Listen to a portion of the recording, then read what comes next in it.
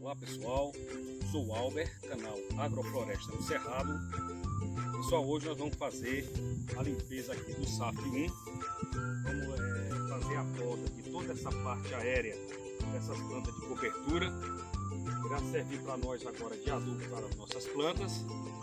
Vamos iniciar aqui o trabalho. Vamos dar uma pausa e depois vamos mostrar o resultado para vocês. Né? Aqui toda a parte aérea dessas plantas.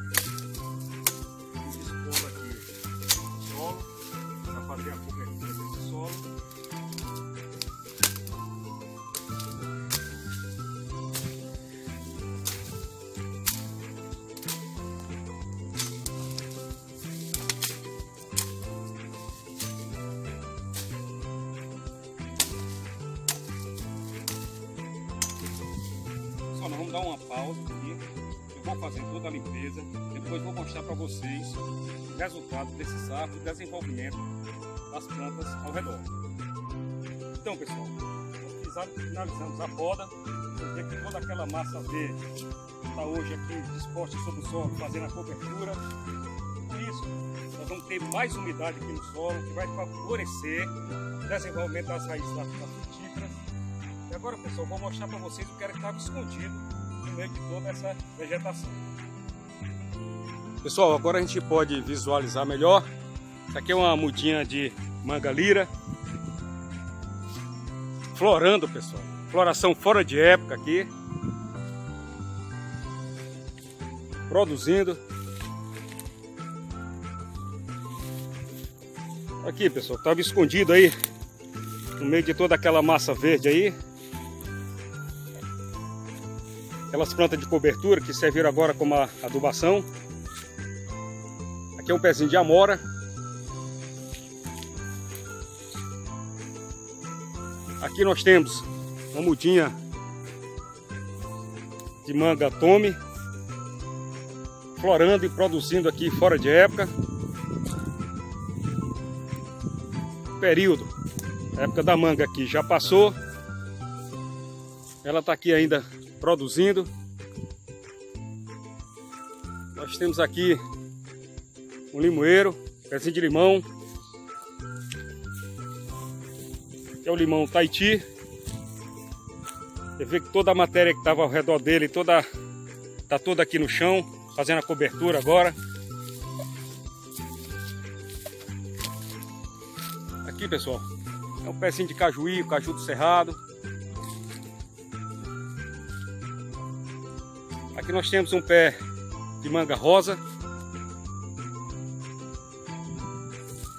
E que ao redor dele agora está todo coberto.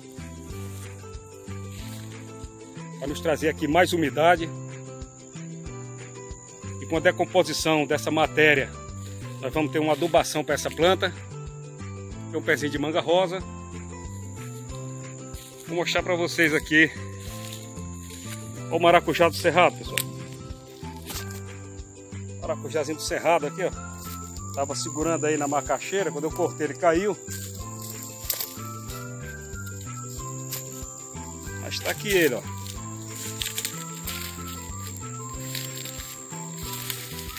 Olha o maracujá do cerrado, a flor do maracujá do cerrado. Uma florzinha roxa, bem bonita, ó. São os maracujazinhos do cerrado, ele vai subindo aqui nesse pé de cajuí. Cajuzinho do cerrado. Vocês veem que já tem maracujá aí, pessoal, ó. Ver se dá para vocês observar, mas tem maracujá. Olha as folhinhas dele aqui. As folhinhas estreladas. Esse é o maracujá do cerrado. Ele subiu aqui em uma mudinha de laranja. Vocês observam aqui que aqui é uma muda de laranja, certo? E aqui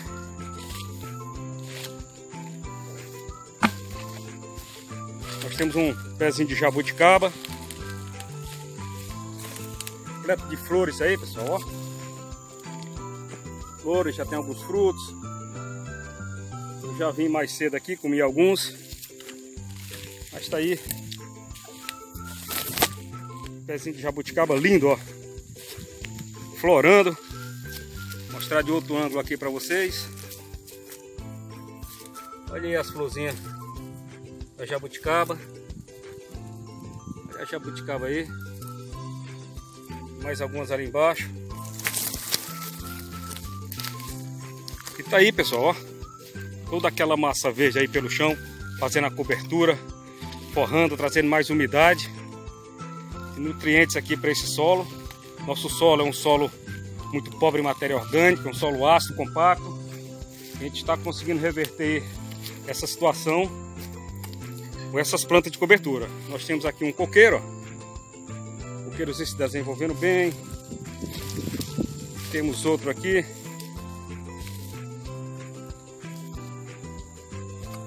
Bem bonito, ó. Coqueiro lindo.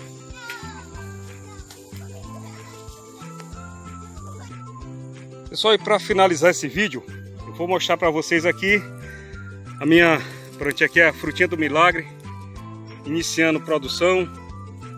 Olha aí os frutinhos, tá começando a sair frutos. Tem outros escondidos aqui. Também isso aqui é uma produção fora de época, pessoal.